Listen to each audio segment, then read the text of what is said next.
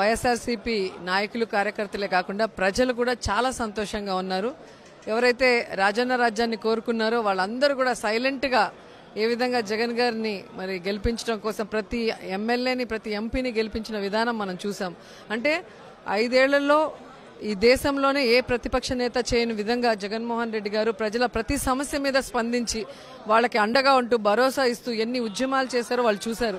So ఇలా problems మీద అవగాహన ఉన్న వ్యక్తి ప్రజల్ని అభిమానించే వ్యక్తి రాష్ట్రాన్ని అభివృద్ధి చేయాలన్న చిత్తశుద్ధి ఉన్న వ్యక్తి వస్తేనే ఈ రాష్ట్రం బాగుపడుతుందని ప్రజలు తెలుసుకున్నారు కాబట్టే ఇలాంటి తీర్పు ఇచ్చారు.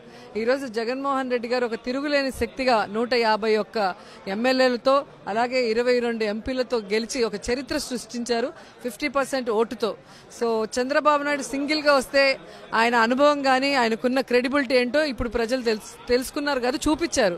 సో జగన్ గారు ఎప్పుడు సింగిల్గా వచ్చినా కూడా ఆయన క్రెడిబిలిటీని ఆయన ఏ విధంగా చూపించుకున్నారో గతంలో అరవై ఏడు సీట్లు కానీ ఇప్పుడు నూట యాభై ఒక్క సీట్లతో మనకు అర్థమవుతుంది. అండ్ ఈరోజు బొత్స సత్యనారాయణ గారు జగన్మోహన్ రెడ్డి గారిని వైఎస్ఆర్సీపీ మరి లెజిస్లేటివ్ పార్టీ పక్ష నేతగా ప్రపోజ్ చేయడం జరిగింది. ముఖ్య నాయకులు అందరూ మేమందరం కూడా చాలా హ్యాపీగా ఆమోదించడం జరిగింది. సో సింహం సింగిల్గా వచ్చింది చరిత్ర సృష్టించింది.